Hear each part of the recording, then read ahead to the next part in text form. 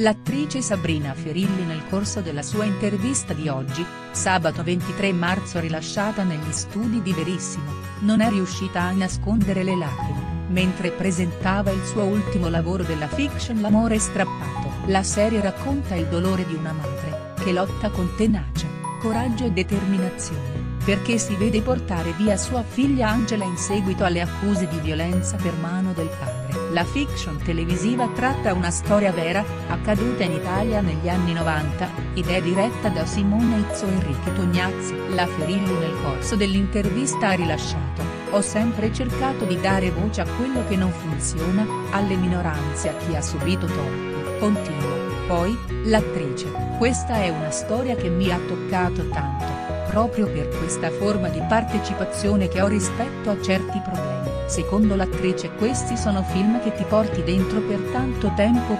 Nel corso della puntata, Silvia Toffanina ha chiesto a Sabrina Ferilli se avesse avuto il desiderio di incontrare Angela, la ragazza segnata da questa triste vicenda, insieme alla sua famiglia. Non ho voluto incontrare la famiglia, perché io sono poi chiamata a realizzare un film, mi appoggio ad un copione, per cui non mi andava di avere un rapporto che avrebbe potuto magari far nascere degli equivoci, e delle aspettative ha rilasciato la Ferilli. L'amore strappato è liberamente ispirata al libro Rapita dalla giustizia, scritto dalla protagonista ormai più che ventenne Angela Lucato, insieme a Maurizio Tortorella e Caterina Guarneri. La prima puntata del